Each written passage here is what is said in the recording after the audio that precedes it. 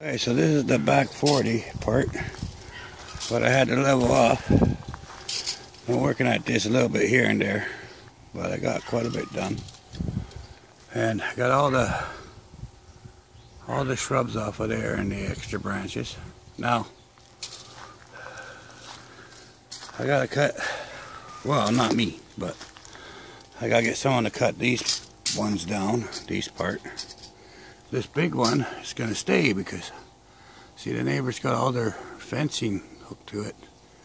And it's good and solid for that so get that cut off. And we get this one trimmed off like that. This big one eventually has to come down because it's see nothing on this side all on that side. It's a willow maker. Sooner or later it's gonna fall.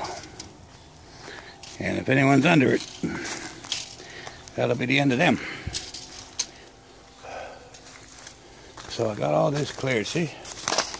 So now what I want to do, see that one stump right there, that white grayish thing? That's a stump. anyway, I want to go on an angle from here to the stump, like that. Get that all dug out. This is about three, four feet deep. And then we'll just leave that ledge there, but I'll try to clean off the top so it looks nice. And that's it. Then, once all this garbage is gone, I can start saving up for some dirt. Because so far I've used every cent I had on the grove, so I'm going to have to save up for some dirt to level this off and some gravel. And then that's that. And, you know, keep spending my money on the grove. might never get it done. okay, well, that's it for now. Love and respect. So as you see, the grove needs some tending to. I've been busy doing other work over there. Uh, we need to cut the grass and everything, but see this tree here? What's not supposed to be here? It's suffocating Bridgie and Barry. See? Can't even see half of the trees behind there. So we're gonna have to tidy this up. Talk to you soon. So there's all the shit bush. And look, and uh, you can see Kimmy's tree, and Bridget's tree, and Mary's tree, and Luna tree, and wait, Luna tree, and Olive's tree, and Lucid's tree, and of course Shakara's tree. So, had to take all that extra shit off. But now, now we can see all the trees again. And the vines, they're just beautiful.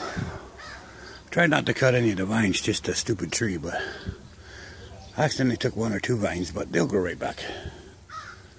And look at the vines going across the other fence there. Look. That's cool. Okay. Well, that's it for that. Talk to you soon. There you go. Looks much better now. Hey, that one's all tight in the fence. Can't come out till next year. There's the ones I took out.